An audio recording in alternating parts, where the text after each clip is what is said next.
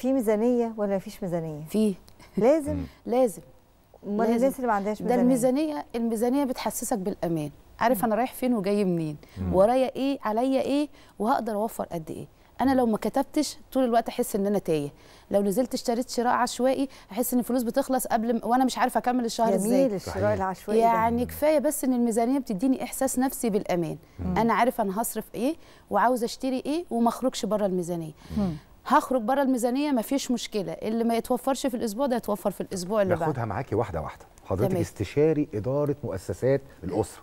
يعني تايتل جميل جدا بالراحة كده إزاي نعمل ميزانية؟ ك... كأب وأم أو كزوج وزوجة مع بعض في أول الشهر إزاي؟ ألف ب ميزانية البيت. بعيدا عن استشاري إحنا كنا بنشوف آبائنا كانوا بيعملوا إيه؟ كلهم عندهم أجندة. على فكرة كانوا بيكتبوا. وكان إن أنا يبقى عندي أجندة فيها الاحتياجات بتاعتي والمصروفات بتاعتي قد إيه وفي نفس الوقت أنا بيدخل لي قد إيه. طبعا كل الناس تقول إحنا بيدخل لي صفحة باحتياجات خمس عشر صفحات صحيح.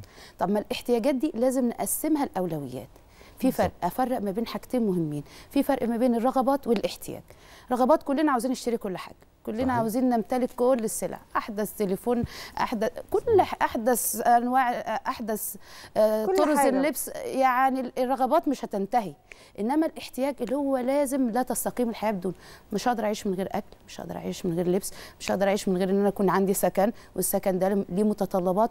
فمهم قوي إن أنا أفرق بين الاثنين طيب هعمل بقى ميزانية. أعمل إيه؟ حضرتك بيجي لك مثلا في ناس دخلها ثابت وفي ناس دخلها متغير موسمي بيشتغل عمالة موسمية. هو بيجي له يوم أو ممكن يوم التاني ما يشتغلش مثلا.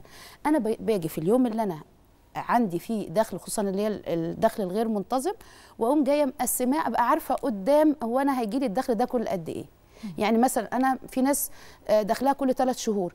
أعمل حسابي إن الدخل ده اللي بيجي لي هقسمه على ثلاثة عشان ده الدخل الثابت بتاعي شهريا. طب أنا دخلي ثابت خلاص أنا عارف إن أنا بيجي لي آخر الشهر 4000 جنيه مثلا. هاجي آخد ال 4000 وآجي أشيل كل المصروفات الثابتة اللي هي عليا عليا.